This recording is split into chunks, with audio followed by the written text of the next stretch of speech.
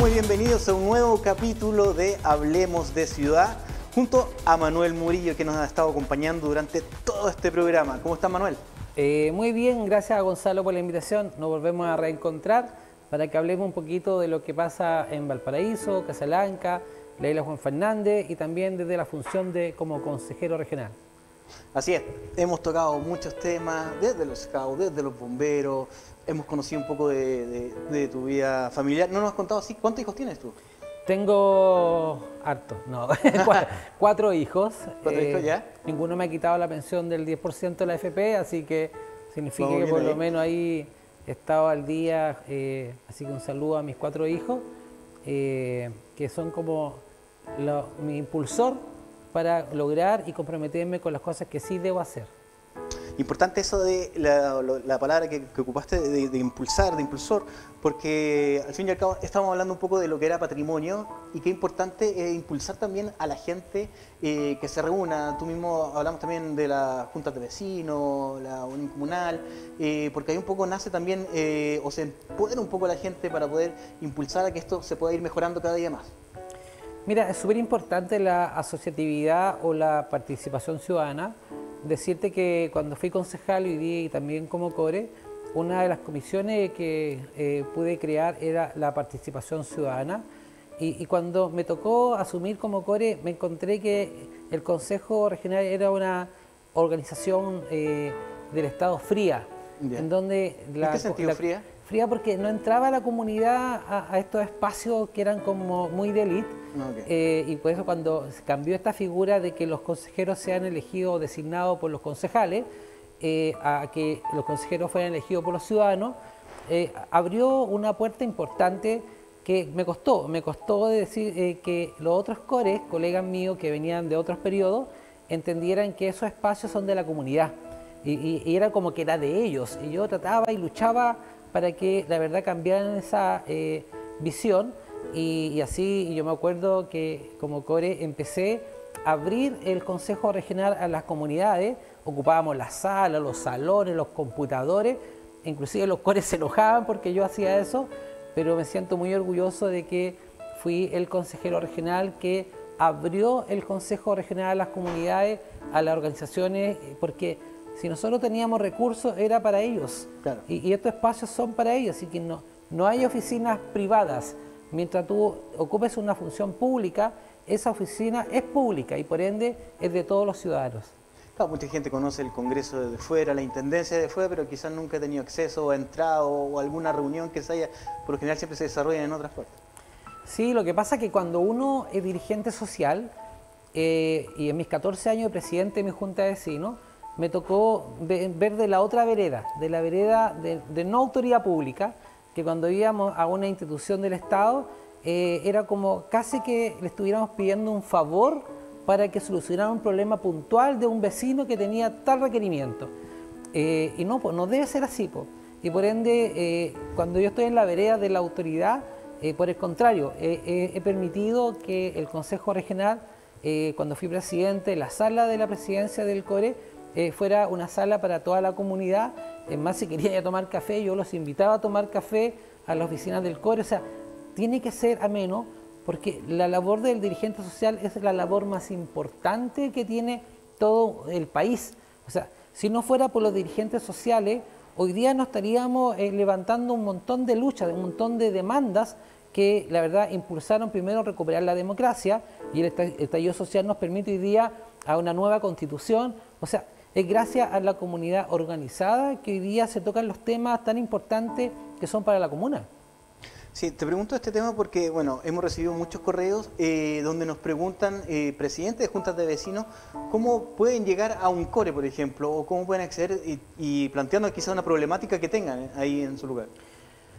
Mira, lo primero es decirte que yo les pido a las a la, familias, las últimas encuestas que hemos realizado, solo el 7% de los ciudadanos están eh, eh, involucrados, conectados a una o participan en alguna organización comunitaria. El otro 93% no participa. Entonces, nosotros queremos que haya muchas más personas organizadas, los adultos mayores, los centros de madre, los comités de vivienda. Que no participen mucho? No, no participan porque hubieron eh, los años de la dictadura, no permitieron que hubieran organizaciones democráticas activas. Ahí se eliminaron la elección de junta de vecinos y de muchas organizaciones. Es más, recordemos lo que pasó en el pasado, en donde muchos de estos dirigentes eh, terminaron eh, desaparecidos y otros juzgados. Entonces, cuando vuelve la democracia a este país, eh, partimos de cero, reconstruyendo todas las redes sociales que estaban destruidas. Entonces, ha costado, ha costado porque especialmente los adultos tienen miedo a participar. Y, creo que el, participar, el empoderarse del trabajo de la comunidad, la verdad que engrandece a la comunidad engrandece a nuestros hijos, a nuestros nietos. Por eso hoy día, eh, y además el Estado mira casi eh, en forma despreciable, no, eh, despreciable, en forma despreciable la labor de un dirigente. Y yo no, pues yo tengo, mi obligación es valorarlos. Es más, tengo el compromiso y la convicción de que lo que hacen ellos voluntariamente por sus comunidades es lo que tiene que ser reconocido y normalmente nosotros no reconocemos a los dirigentes sociales. ¿Qué consejo le podrías dar tú a, no sé, quizás a un joven que se está organizando en, su localidad, en su comuna o en, su sector para poder eh, hacer una junta de vecinos? Hacer Yo estoy convencido de que en la medida que estemos organizados y que ustedes estén organizados en sus comunidades, los jóvenes en los temas juveniles, eh, que los adultos en los temas del deporte y otros temas que son importantes para ellos, y los adultos mayores igual, la verdad es que vamos a engrandecer la sociedad que vamos a construir. Una ciudad mucho más amigable, una sociedad mucho más cercana. Eh, yo, yo quiero, yo creo y confío en que la gente especialmente más vulnerable eh, sí se organiza y sí quiere organizarse. Pero para eso el core tiene que ser un core presente, no un core ausente, porque nosotros tenemos instrumentos desde el core, que, por ejemplo tenemos casi 2.500 millones de pesos para que estas organizaciones vengan a pedir recursos para que ellos puedan ejecutar algunas obras importantes. Hoy día hemos creado, por ejemplo, los, los, CODE o los COVED en el tema de seguridad, eh, en donde estas organizaciones pueden ayudar en la seguridad del barrio. Eh, estamos apoyando en el tema de deporte, cultura y también social a muchas instituciones el año pasado solo ayudamos a 364 organizaciones en la región de Valparaíso, casi 1.400 millones de pesos. Pero la pregunta es, ¿todo el mundo sabe que existe este fondo concursable? no, y como no sabe, estas son las instancias donde uno llama y motiva y decirle al dirigente que no solo puede contar con los recursos que otorga la municipalidad. Hay otro estamento público que se llama Consejo Regional, que también tenemos recursos para solucionar los problemas. Mira, ¿Cómo nosotros financiamos proyectos?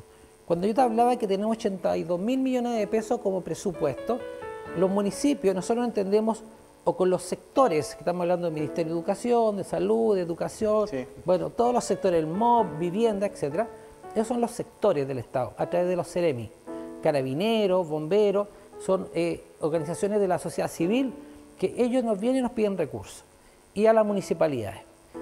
Pero lo que es la municipalidad, ellos levantan necesidades y son las que nos entregan a nosotros proyectos. El tema es, hay proyectos que no se presentan. ¿Y por qué no se, no se presentan? Porque a veces hay alcaldes o alcaldesas que solo le entregan proyectos a los sectores que son afines a su ideología política. Entonces nosotros cuando nos pasa eso, y me tocó como presidente del CORE, cuando venían organizaciones y nos decían, presidente, saben que eh, nuestra alcalde o alcaldesa no nos quiere presentar el proyecto de alcantarillado porque nosotros somos de otra tendencia política. Y ahí viene el core diciéndole y llama al alcalde y dice, alcalde, usted tiene que presentar el proyecto según la necesidad de su comuna, no donde usted solamente se pueda florear. Entonces, hoy día eh, los, los ciudadanos tienen que saber organizadamente que pueden venir al core y decirle que algunos alcaldes o alcaldesas lo están castigando entonces, y que los castigan en no presentar proyectos. Entonces, la iniciativa de, la organización es pedirle al municipio que nos presente proyectos para más calle, para más, pavimento, para hacer muros, para construir escuelas, para construir cefán, para luminaria, plaza pública, plaza activa, un montón de obras que nosotros hacemos con financiamiento del CORE. Pero tiene que ser de iniciativa del alcalde. Entonces ahí está nuestra preocupación para que las organizaciones, los dirigentes sepan que si el alcalde no les toma atención a su requerimiento, vengan al CORE. Y nosotros nos vamos a encargar que en este caso el alcalde o alcaldesa entienda que esa, esa comunidad también necesita tener ayuda. Entonces, el core hoy día es un organismo público y que a veces los ciudadanos lo único que hacen van a pedirle a la municipalidad, a la municipalidad, a la municipalidad y a veces rebotan, rebotan, rebotan. Vengan al core y el core también los tiene que escuchar. ¿Y cómo en ese sentido es la relación que tiene el core con el alcalde? Yo tengo una buena relación, no, somos de la misma tendencia política, pero como siempre lo digo, del hecho que yo soy elegido autoridad pública, eh, yo me debo a quien democráticamente elijan, digamos, como alcalde o como concejal.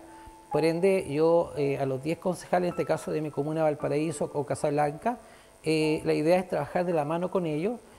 con los alcaldes anteriores, por ejemplo, en Casablanca, con el Tuta, trabajé muy de la mano, a pesar que de otra tendencia política mía, y no tuve ningún problema en aprobar una cantidad importante de proyectos, Plaza, la planta recicladora de, de Casablanca, entre otras. O con el alcalde Char de Valparaíso hemos trabajado muy de la mano, he participado en muchos varios desayunos que nos ha invitado, hemos construido, por ejemplo, todas las calles de Playa Ancha o todas las calles de Placeres eh, o de Cordillera o en Alemania. Eh, la verdad es que hicimos un cambio al rostro de la cara y que son proyectos que presentó la Municipalidad de Valparaíso. Eh, también nos presentó el tema de los camiones de aseo, camiones polibrazo, batea, el mejoramiento de la Escuela de Barro mejoramiento del Mercado Cardonal y fueron presentados por el alcalde Char y no dudé en, nada en decirle en el minuto de aprobárselo y así todos los proyectos que ha tenido Valparaíso o con la alcaldesa de Viña en su, tiempo también y así con todas las comunidades de la región. Mi tema no es la ideología política, mi tema es solucionar los problemas de la gente y ahí el tema de la asociatividad y de la organización es muy importante porque cuando nos llega de un alcalde en necesidades, nosotros creemos que está interpretando lo de su comunidad pero a veces pasa lo contrario, que los alcaldes no interpretan a, sus comunidades, sino que algunos sectores es de privilegio de algunos alcaldes o alcaldesas. Y eso nosotros el CORE tiene que evitarlo. Claro, efectivamente, la idea no es claro, que las organizaciones se salten el conducto regular quizás, pero que sí tienen la posibilidad de acercarse directamente al, CORE. Es que así tiene que ser. Si cuando no funciona algo, eh, tienen que ir más allá. Un dirigente social va, siempre va más allá un dirigente social no se queda con la respuesta de algo negativo. Yo me acuerdo cuando era dirigente social y, por ejemplo, hubo un programa que se llama Quiero mi, barrio en la población y estaba el alcalde Cornejo de alcalde y, yo estaba presidente de mi junta de vecinos, dirigente, y él me decía, ya mira, la plata que nos da el programa Quiero mi barrio nos alcanza para cuatro calles de tu población, de once. Y yo dije, a ver, ¿cuánto vale? No, fuimos y hicimos una protesta en, en el paso de la población eh, que, uno, que une a Laguna Verde, Eduardo Bello, y dijimos no, porque queríamos las 11 calles. Cuando estudiaron el presupuesto se encontraron que sí podían eh, financiar las 11 calles. Y hoy día la Eduardo Bello tiene 11 calles gracias a que los, dirigentes levantaron la voz. Cuando el consultorio no funcionaba, porque el Estado no entregaba los insumos al consultorio, nosotros nos, tomábamos el consultorio.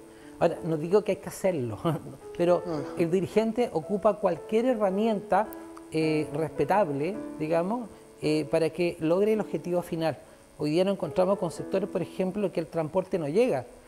Y, no llega, entonces, cuando una línea de transporte no llega y no pasa el bus, perjudica especialmente a los más vulnerables, a los adultos mayores. Y nos está pasando en Placilla, el sector de la Cruz, en Las Cañas, Merced, eh, que no llega locomoción, buses. Y por ende quedamos en manos de los colectiveros solamente y la verdad que a veces no alcanza. Uno se encuentra en las calles con largas filas de, gente, de trabajadores que quieren irse a su casa y no pueden porque no tienen transporte. Entonces, ¿cómo logramos cambiar esto? Cuando el dirigente social está empoderado y dice y levanta la voz diciendo no, no pueden abusar con los ciudadanos. Entonces, para mí, el trabajo del dirigente social es eh, uno de los trabajos más importantes que la verdad no es reconocido como debiera ser reconocido por el Estado de Chile alguien que lo ayude también a todos estos dirigentes sociales a hacer un programa más claro, me imagino también, porque a la hora de presentar algo, eh, para que no vayan a creer que van a presentar algo y va a ser aprobado al tiro, sino que me imagino que tiene que tener, hay todo un, orden, hay toda una, metodología que hay que seguir, entonces, ¿quién ayuda a esos dirigentes también? Por eso, mira, el, eh, es un trabajo largo de ser, dirigente, es un, es un trabajo eh, maltratado, eh, o desprestigiado, hasta por sus propias comunidades. Uno ve cómo las comunidades no reconocen la labor del dirigente y, yo creo que eso debe cambiar. y por eso desde el CORE lo que he hecho, he cambiado esa mirada y por eso existe hoy día esta comisión de participación ciudadana en donde hoy día las organizaciones pueden venir a alzar su voz. Entonces, hemos corrido el cerco de lo que es posible o lo que está normado. Nosotros vamos más allá, o yo voy más allá, y creo que otros CORE también van más allá. Hoy día tenemos que ser capaces que ojalá todo el presupuesto del gobierno regional esté eh, asociado a un pronunciamiento también de la comunidad. Eh, como presidente del CORE me tocó impulsar ahora, por primera vez en la historia, la elección del COSOP. Mm. El, COSOP? es una organización que eh, están todos los representantes de los gremios, federaciones, uniones comunales, juntas de vecinos, o sea, el mundo de la academia, el mundo del, del emprendimiento, los empresarios, están todos reunidos. Entonces, cuando nosotros toquemos temas, vamos a tener hoy día la opinión de la comunidad organizada para ver si ese tema tiene impacto o relación a lo que la ciudadanía quiere. Eso no existía. No existía un COSOP en la región de Valparaíso. Y hoy día va a existir un COSOP donde va a tener 20 integrantes, donde va a tener personas que van a representar a las ocho provincias de la región de Valparaíso, incluyendo la isla de Pascua. Entonces, yo creo que la organización debe ser importante, como el tema de la inclusión no, puede ser que nosotros, el gobierno regional y el Estado de Chile está aprobando proyectos de construcción en donde, por ejemplo, no le damos la posibilidad a que la gente que tiene capacidades diferentes pueda eh, acceder. O sea, es vergonzoso encontrarnos con un registro civil de Valparaíso que tenga una escala y todavía no sean capaces, después que han pasado más de 20 años, en crear un espacio para que puedan subir, en este caso, la gente con capacidades diferentes. Y así hay muchos organismos públicos así. Entonces, cómo vamos cambiando esa mirada del nuevo país que queremos, son aquellos que tenemos esa conexión directa con el territorio, que lo vemos en el día a día, que tenemos que cambiarlo. Entonces eso es parte de la inclusión. No puede ser que nosotros dependamos de que si se hace o no teletón, que nuestros niños con capacidad diferente puedan ser tratados. O sea, ¿dónde está el Estado? Y nosotros tenemos que hacerlo, tenemos que hacer algo. Tenemos hoy día un proyecto de la, la construcción de una nueva teletón en Valparaíso, en la Avenida Francia con eh, Colón. Ya, eh, y justamente es por, porque la Teletón que está hoy día está en zona de inundación y se hizo chica. Vale 7.500 millones de pesos. El tema es quién lo hace, si el Estado no lo está haciendo. Y el gobierno regional tiene que hacerse responsable de eso. Hoy día vemos que la Teletón es un tema que está bien cuestionado, pero vamos más allá de lo cuestionado. ¿Quién va a atender hoy día a estos niños o niñas que tienen capacidades diferentes si nosotros el CORE no es capaz de financiarles 7.500 millones de pesos la construcción de una nueva Teletón. Entonces, cuando hablamos de inclusión tenemos que hablar de cosas concretas. Y yo te puedo decir que nosotros hemos hecho cosas concretas y que vamos a seguir haciendo cosas concretas. El mismo tema de la diversidad. Hoy día la diversidad es, algo que, siempre existió, que estaba escondido. Entonces hoy día uno dice, eh, no es que los lo homosexuales, los transexuales, los lesbianas, como que fuera una enfermedad. Y no es una enfermedad, es una opción de vida. Entonces, cuando es una opción de vida, tenemos que aprender a respetar, tenemos que aprender a respetarnos. Entonces la pregunta, ¿quién es, quién es distinto? ¿El que tiene una opción de género distinto, sexual? ¿O nosotros que no somos capaces de abrir nuestra mente para decir, ellos son parte de esta, de sociedad? Entonces, hoy día para nosotros, los que somos core, para mí en forma particular, tenemos que ser capaces de respetar a la organización, respetar la inclusión y por supuesto respetar la diversidad. Importante los temas que toca Manuel, sobre todo lo de la inclusión, porque muchas veces son temas que se hacen pinceladas o no se tocan en profundidad o no, no hay registros concretos de lo que, se puede hacer o lograr. Eh, de hecho, el capítulo pasado tocamos el tema de la robótica para los niños, que es un tema que nunca se había tocado, de lo que es tecnología, y ahora también el tema de la inclusión y lo que es la diversidad. Sí, mira, hay, muchos temas que son tabú para muchos, pero los que estamos en, este trabajo político o de autoridad política tenemos que tener esa capacidad de, aprender a respetarnos, de aprender a querernos entre nosotros mismos porque si nosotros no somos capaces de eso, estamos construyendo una, una mala sociedad. Y hoy día, y me alegro mucho que seamos capaces hoy día de mirar esta nueva constitución con otro ojo. unos ojos en donde esa constitución no reflejaba la necesidad real de los ciudadanos. Hoy día nos vemos que, por ejemplo, la constitución el agua está en manos de privados. El agua debe ser, debe ser del Estado. Debemos recuperar, digamos, hoy día todo el agua porque no puede ser que esté privadas de unos pocos. No puede ser que en Petorca eh, la gente tenga, que consumir 50 litros regulados, mientras nos encontramos, no sé, por Las Condes, en Cachagua, gente con piscina de 20.000 de 20 litros de agua. Entonces, ¿cómo vemos que alguien puede tener piscina y el otro no tiene agua para consumir? Entonces, esa es la sociedad que yo no quiero. Y por ende, eh, mi misión eh, en este cargo de core es defender eso, defender lo que debe ser justo. Y, una pega de esa es, importante. O sea, yo, yo veo dentro del core, uno cuando habla del feminismo, eh, uno dice, no, bien las mujeres que entran a la política y que entran a la empresa, pero en la realidad no es así. En la realidad hoy día nosotros eh, hablamos del género opuesto, pero tampoco le damos las facilidades para que ellos entren. Y nosotros tenemos que ser capaces de abrir si es una sociedad nueva que estamos construyendo. Por ende, hoy día, insisto, el respeto, eh, la verdad que nos va a hacer cambiar a una sociedad más justa. Bueno, nos quedan dos minutos. ¿Por qué la gente en noviembre tiene que marcar Manuel Murillo? Mira, yo creo que tiene que, por mi trayectoria, por lo que he hecho, eh, yo no he ocupado cargos políticos para enriquecerme, están mis cuentas eh, del banco, eh, saben dónde vivo, saben el auto que tengo. Entonces yo no me he lucrado de la política y, y, no me voy a lucrar de la política porque creo que este trabajo es para aquellos que tengamos la convicción súper clara que tenemos que servirnos para los ciudadanos, tenemos que trabajar para ello. y además porque yo creo en una sociedad inclusiva. Y yo confío y, pido a todo el mundo que aprendemos, aprendamos a respetarnos unos con otros. Y, además porque yo fui uno de los que estigmatizaron y que discriminaron. Cuando estuve en el Sename, porque escuelas públicas, porque vivía en una población, eh, porque hablaba como hablaba, porque no alcancé a sacar una carrera universitaria. Entonces yo fui discriminado. Entonces siento que lo que yo viví no quiero que otros lo vivan. Y por eso yo creo que los ciudadanos tienen que apoyarme porque tenemos que empezar a apoyarnos entre nosotros y dejar de elegir a aquellos que eh, te regalan cajas de alimentos o te regalan torta. No, esto es más allá. La política es del trabajo serio y responsable para solucionar los problemas de la gente. Muchas gracias Manuel Muduño, muchas gracias a todos los televidentes que hoy nos sintonizaron. Nos volvemos a encontrar nosotros en un próximo programa aquí en Hablemos de Ciudad. Muchas gracias. Muchas gracias.